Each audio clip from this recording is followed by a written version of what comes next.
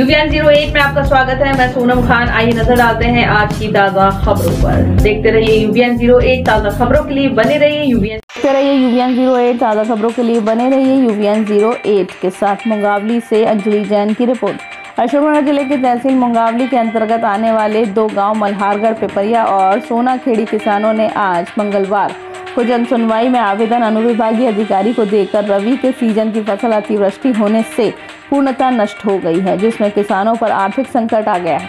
किसानों का कहना है कि अतिवृष्टि होने के बाद ग्राम बजावन में प्रदेश के मुख्यमंत्री शिवराज सिंह चौहान ने स्वयं आकर किसानों के खेत देखे थे और मंच के माध्यम से सभी प्रशासनिक अधिकारियों और पटवारियों को आदेशित किया था कि ये आपदा की घड़ी जिसमें किसी भी अधिकारी द्वारा कोई कोताही नहीं की जाएगी।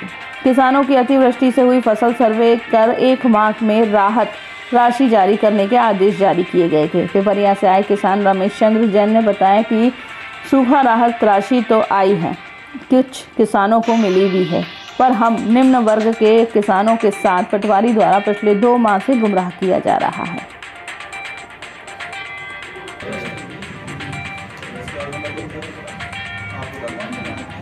आप